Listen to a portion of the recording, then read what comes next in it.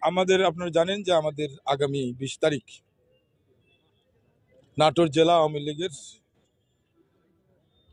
দুই হাজার বাইশের সম্মেলন অনুষ্ঠিত হতে যাচ্ছে। আশা করছি এখানে আমাদের সাতটা উপজেলার থেকে এবং পৌরসভার থেকে, বিভিন্ন পৌরসভা উপজেলার থেকে ধরেন হাজার পঞ্চাশ এক লোক ইনশাল্লাহ হয়ে যাবে এই মাঠে। এখন আপনারা দেখছেন যে ডেকোরেশনের বিষয়টি দেখছেন।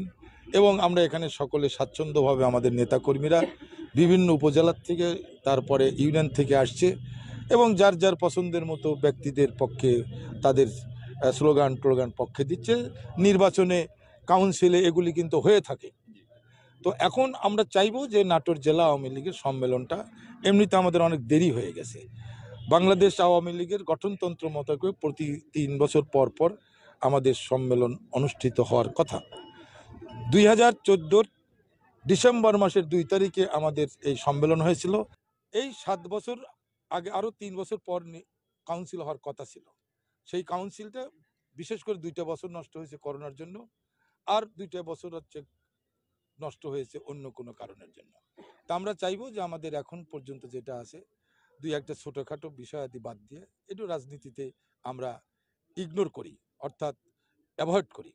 সেইখানে আমরা মনে করছি যে এখন আমরা অপেক্ষা করছি বিশ তারিখের সেই ঐতিহাসিক মুহূর্তের জন্য। এবং একে কে কোথায়, কীভাবে, কি মনে করল, না করল, ওইটাই না উই আর নট অরিট আমি তো অরিট নই কই, এই জন্য নই। ধরেন আমি সভাপতি আছি এবং সেটা কিন্তু কারোর দয়াতে না। দয়া হচ্ছে আমার এই বিশ লক্ষ মানুষের প্রতিনিধি যারা কাউন্সিলর ছিল, তারা ডাইরেক্ট ব্যালটে আমাকে ভোট দিয়ে কিন্তু সভাপতি করেছেন। এবারও ব্যালট চাইছিলাম। যে কোনো কারণে হোক, হয়নি। আশা করছি যে আমার নিশ্চয়ই বিশ্বাস আছে যে নেত্রী দেখবেন যে নাটোর জেলার বিশ লক্ষ মানুষের যারা প্রতিনিধিত্ব করে, যে আওয়ামী লীগের নেতাকর্মী যারা কাউন্সিলর ডেলিগেট হবে তাদের সেন্টিমেন্টটা কি? সেই সেন্টিমেন্টটা অনুযায়ী আমরা হোপ ফর দি বেস্ট করতে পারি। করলে ভালো, না হলে আমরা নেত্রীর একটা নগণ্য কর্মী হিসাবে তার নির্দেশ মোতাবেক আমরা চলার চেষ্টা করব আর কি। আপনারা সাংবাদিক ভাইয়েরা আপনাদের কাছে অনুরোধ করব যে আমরা যেন একেবারে সুষ্ঠুভাবে আমরা নির্বাচন ইয়ে কাউন্সিলটা করতে পারি। আর কাউন্সিলের এইখানে কমিটি ঘোষণা করার ব্যাপার, আমাদের যেটা বলা হয়েছে, সেটা হলো আমাদের মন্ত্রী মহোদয় আছেন উনি। উনি, আমি বলি, যাবেন না বলি আর কি। উনি কিন্তু ক্যাবিনেটের সদস্য। আমার আমার সন্তানের বয়স, আমি ছোট ভাই, আমার আমার আমার হচ্ছে ছেলে, আমার মেয়ের মুক্তিরও ছোট কিন্তু। তারপরেও জননেত্রী শেখ হাসিনা তার রাস্তা রেখে তাকে দুই, দুইবার ক্যাবিনেটে স্থান দিয়েছে, মনোনয়ন দিয়েছে। তা আমরা শেখ হাসিনার ক্যাবিনেটের সদস্য হিসেবে তাকে আমাদের শ্রদ্ধা করতে হয় এবং আমি বাধ্য এটা আর কি।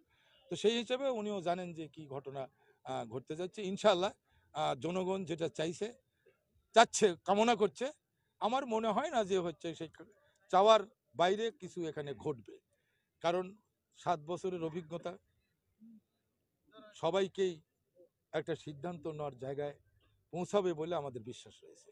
বঙ্গবন্ধুর বাংলাদেশ শেখ হাসিনার বাংলা মূল সিদ্ধান্ত একই হয়েছে, মূল সিদ্ধান্ত হয়েছে যে আমাদের বিশ তারিখে আমরা একেবারে মতভেদ যেটাই থাকুক বা না থাকুক, সবাই একযোগে, একমতে আমরা সম্মেলনটা সফল করব আর। এইটাই, এটা আর কি, আর বাইরে কিছু নেই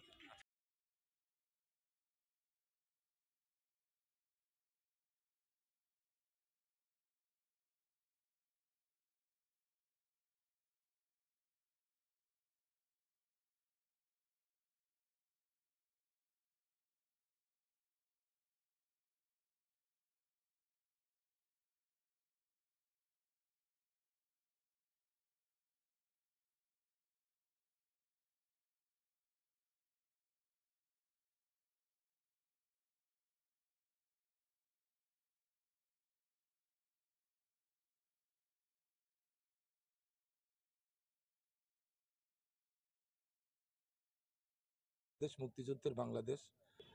বাড়ি কিন্তু একটা গ্রামে, সিংড়ার তাজপুর একটা গ্রাম, একেবারে অজপাড়া গ্রামের উনি সন্তান ছিলেন। পরবর্তীকালে উনি বৃহত্তর রাজশাহী জেলা আওয়ামী লীগের সভাপতি হয়েছে, কামরুজ ইয়ে সাধারণ সম্পাদক কামরুজ্জামান সাহেব। সভাপতি আবার মুক্তিযুদ্ধের সময় এই আপনার জেলার হচ্ছে প্রতিনিধিত্ব করেছেন ইন্ডিয়ান সরকারের সাথে, বাংলাদেশ সরকারের সাথে। আবার স্বাধীন হওয়ার পরেও উনি ছিলেন বাকশাল সিস্টেমের সাধারণ সম্পাদক ছিলেন। এই জন্যই আমরা এই স্টেডিয়ামটা বেছে নিয়েছিলাম।